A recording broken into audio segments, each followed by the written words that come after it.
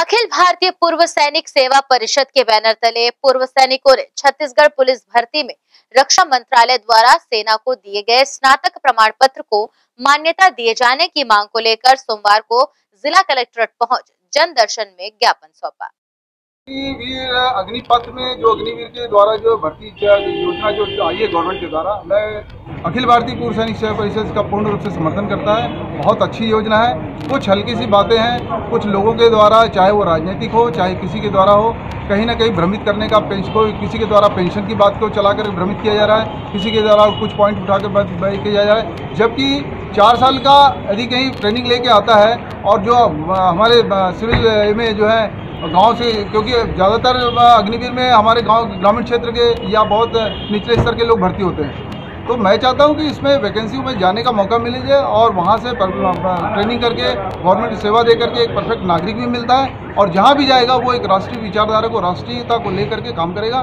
शायद मैं समझता हूँ ये हमारे लिए सबके लिए बहुत सकारात्मक होगा और सभी जो है युवा जो है बहुत इसके लिए लायक है बहुत आना चाहते हैं लोग इसको अप्लाई करना चाहिए। क्योंकि देखिए इसमें आ, आपको आर्थिक रूप से भी बहुत आपको परफेक्ट मिल होता है क्योंकि 24 लाख रुपए आपको मिलना एक चार साल की सर्विस के बाद आपकी इंश्योरेंस के थ्रू जो है अड़तालीस लाख का इंश्योरेंस कवरेज होना और उसके बाद जो है ट्रेंड सैनिक बन करके आम नागरिक सिविल में शामिल होना ये बहुत बड़ा फ़ायदा है गवर्नमेंट के लिए हम सब के लिए।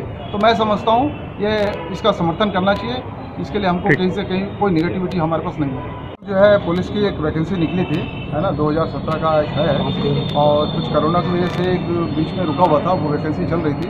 तो उसमें हमारा एक सिंपल सा इसके साथ साथ में तो जितनी वैकेंसी निकलती है गवर्नमेंट के द्वारा, प्रशासन के थ्रू जो भी वैकेंसी निकलता है, उसमें कहीं ना कहीं रेगुलरेंस दिखता है हमको तो मेरा, आपके थ्रू एक शासन को एक संज्ञान में देने का निवेदन रहेगा कि एक्चुअली जो भी वैकेंसी निकलती है, हमारे को ये स्पष्ट है कि टेन परसेंट को वैकेंसीज अलाट है। तो उसको टेन परसेंट प्रॉपर जो है वर्टिकल में शो किया जाए।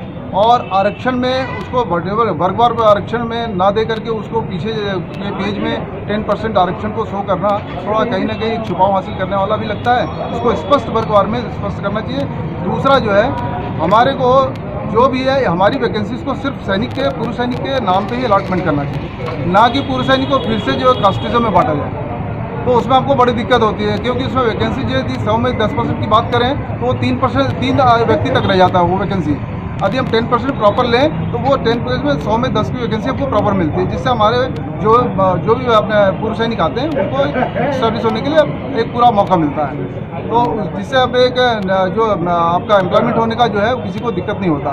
दूसरा जो है, हमारे पास, रक्षा मंत्रालय के द्वारा जो प्रॉपर एक रूल बना रूल के तहत जो है, एक एक सर्टिफिकेट ग्रेजुएशन सर्टिफिकेट मिलता है। तो जहाँ पर गवर्नमेंट के द्वारा, एक तो गवर्नमेंट जो है यूनिवर्सिटी के सर्टिफिकेट मांगती है, दूसरी जगह कहीं कहीं पर समकक्ष करके माँगता है। तो जहाँ पर समकक्ष की योग्यता देता है, वहाँ पर हमारे सर्टिफिकेट रूल वो बैठता है। तो उसको वैलिड नहीं करते, उसको मान्य नहीं करते हैं और सीधा अमान्य करके उसको जो है पात्र, अपात्र घोषित करके वहाँ से हटा दिया जाता है। तो मेरा निवेदन है, इसको गहराई से सोचा जाए प्रशासन में कौन बैठता है, शासन के द्वारा उनको जो है प्रॉपर जो है इंस्ट्रक्ट किया जाए, ताकि इस तरह की दिक्कत ना आए और उसकी वजह से हमारे जो है, जो नए, अपने रिटायरमेंट होके आ रहे हैं, उनको जो है किसी तरह का दिक्कत ना आए। आज पूर्व सैनिक यहाँ पर इकट्ठे इसलिए हुए हैं कि हमारा जो एसआई सूबेदार इंस्पेक्टर की जो भर्ती हो चल प्रक्रिया जो चल रहा है उसमें हमारे पूर्व सैनिक लोग ही अभी वहाँ पर गए थे तो डॉक्यूमेंट को उनको आ, निकाल दिया हुआ है। यानी कि जो हमारे जो ग्रेजुएशन सर्टिफिकेट जो मिला हुआ है उनको उन लोगों की हमारे जो मैसेज जो है